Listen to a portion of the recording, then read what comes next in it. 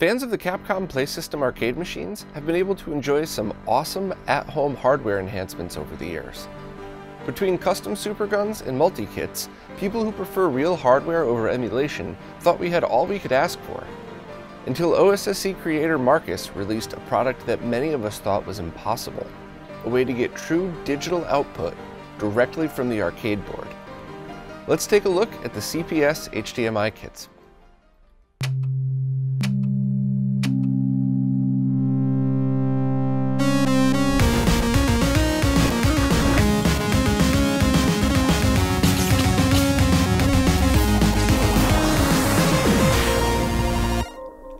CPS HDMI project works with all three Capcom Play System boards, and work by tapping the digital video and audio signals right from the main motherboard.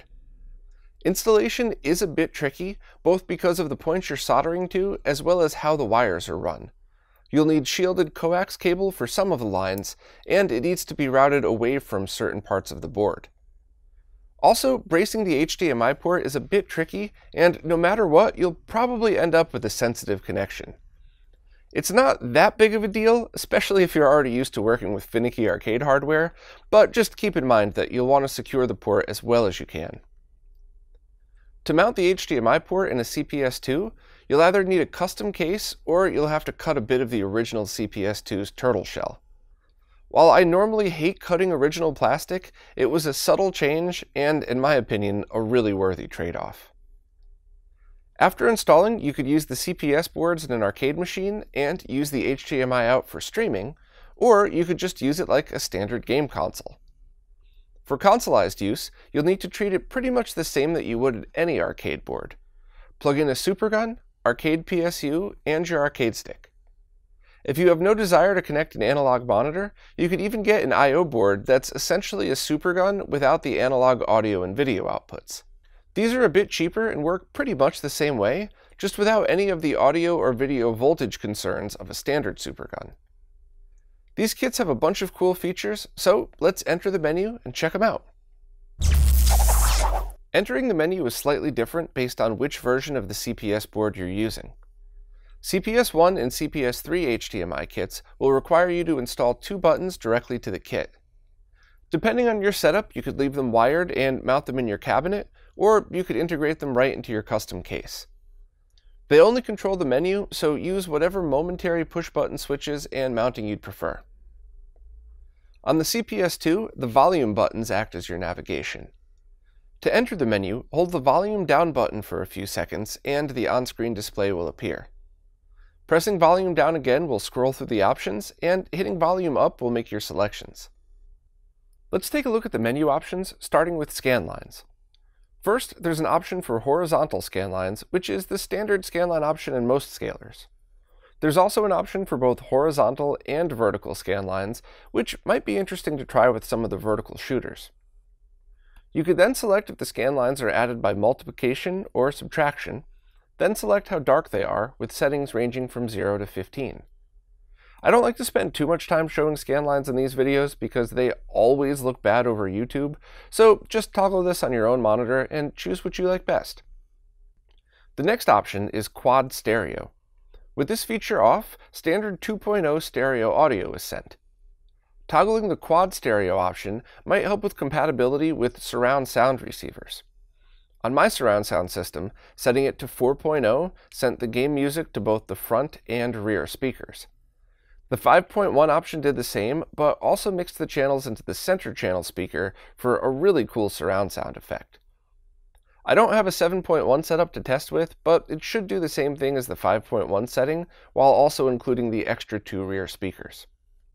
I gotta pause for a moment and reflect on something.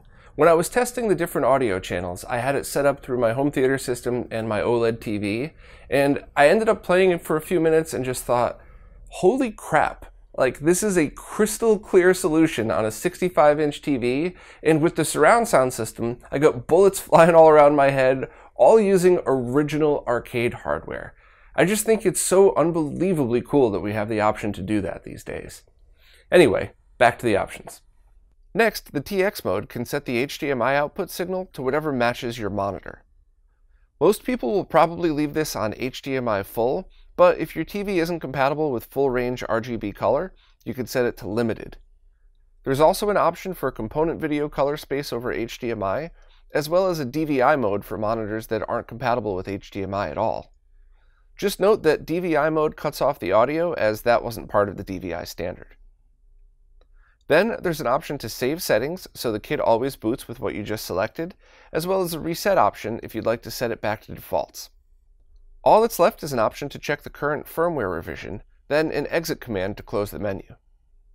I honestly didn't know how I'd feel about controlling a menu with just two buttons, but it was really intuitive and super easy to get used to.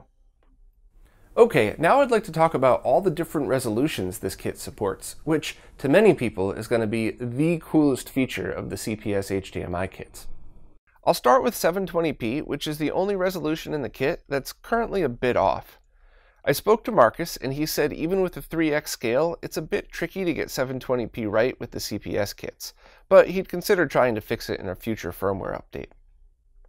All the other resolutions available should be perfect for gaming, but if you need 720p for your capture setup, you could always adjust the horizontal aspect ratio in your software.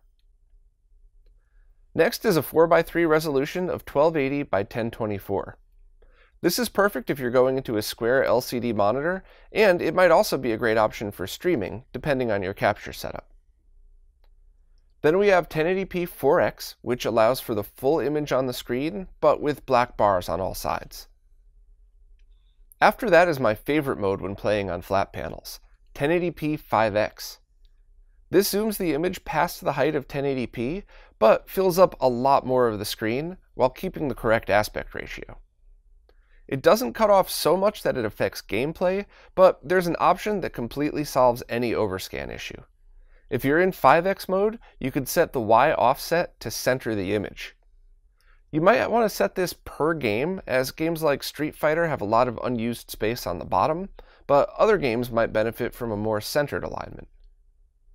It's my opinion that 1080p 5x is one of the best options for most retro gaming experiences, and with the addition of the Y offset, Markus really got it right with the CPS HDMI kit. Next, we have 1600 by 1200, which is a 4 by 3 aspect ratio that's essentially the same height as 1080p 5x, but sending the full signal without cropping 1080p borders. Depending on your monitor or capture setup, this might be a better choice. Then there's 1900 by 1200, which is similar to the previous but a different aspect ratio. If your monitor supports higher than 1080p resolutions, try each of these to see what it's like and what looks best to your eyes. The highest resolution supported is 1920 by 1440, which is a 6x vertical integer scale. If you have a 1440p or 4K monitor, this might be the best choice, however, you'll probably have to adjust your monitor's aspect ratio settings.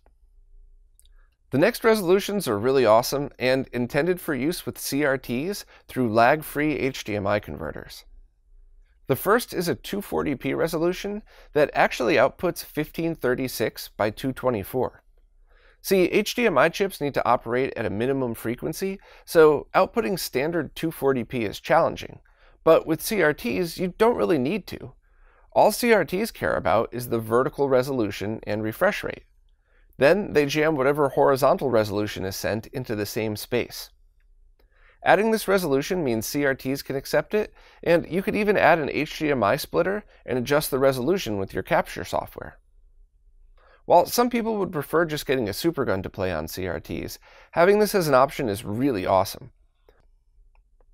Next, we have a 480p VGA resolution that applies the same super resolution trick with the HDMI chip.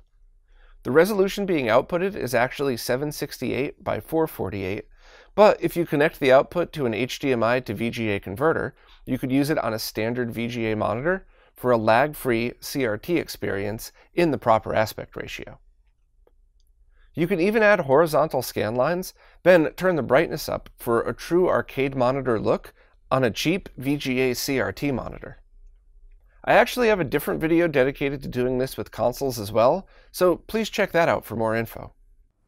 So, in case you couldn't tell by now, I am thrilled about all of the different resolution options, and I think Markus provided us with everything the retro gaming world could possibly need, apart from the weird 720p quirk.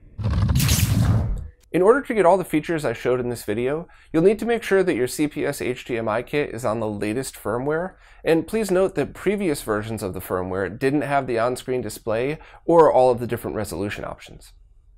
Updating is pretty easy though, and the same exact process as updating a time sleuth. I have a really detailed video on that, so please check it out for more info. I'll quickly run you through the process here though.